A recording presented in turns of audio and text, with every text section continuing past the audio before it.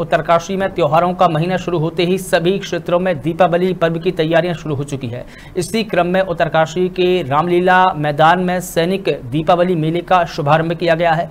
इस दौरान सैनिक मेले के अध्यक्ष ने कहा कि प्रतिवर्ष की तरह इस बार भी पूर्व सैनिकों द्वारा मेले में कई प्रतियोगिताएँ आयोजित की जाती है, जिसमें लकी ड्रॉ के माध्यम से कई प्रकार के सामान उपलब्ध कराए जाते हैं। मेले के आयोजन को लेकर उन्होंने विश्वनाथ पूर्व सैनिक कल्याण समिति की प्रशंसा की। उन्होंने कहा कि समिति अच्छा कार्य कर रही है। उत्तरकाशी से विनीत कंसबाल की रिपोर्ट।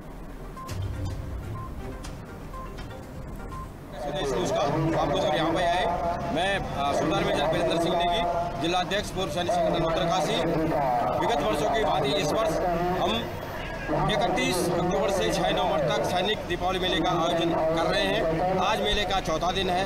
इस मेले का जो मुख्य उद्देश्य है वीर नारियों को सैनिकों के पूर्व सैनिकों के आश्रितों को या किसी जरूरतमंदों को मदद करना यही इस मेले का मुख्य उद्देश्य होता है। इसमें हम लोग सभी आयु वर्ग के लोगों के लिए रन फॉर आर्मी का आयोजन करते हैं। मेले में सभी के मनोरंजन के लिए झूला, चरखी, शॉप्स वगैरह सभी कुछ यहाँ पे लगे हुए हैं। चौथे दिन का जो मुख्य आकर्षण है, आज पांडव नृत्य है, जो हमारी संस्कृति है। आज पांडव नृत्य होना है, उसको हमने प्रतियोगिता के तौर पर रखा गया है।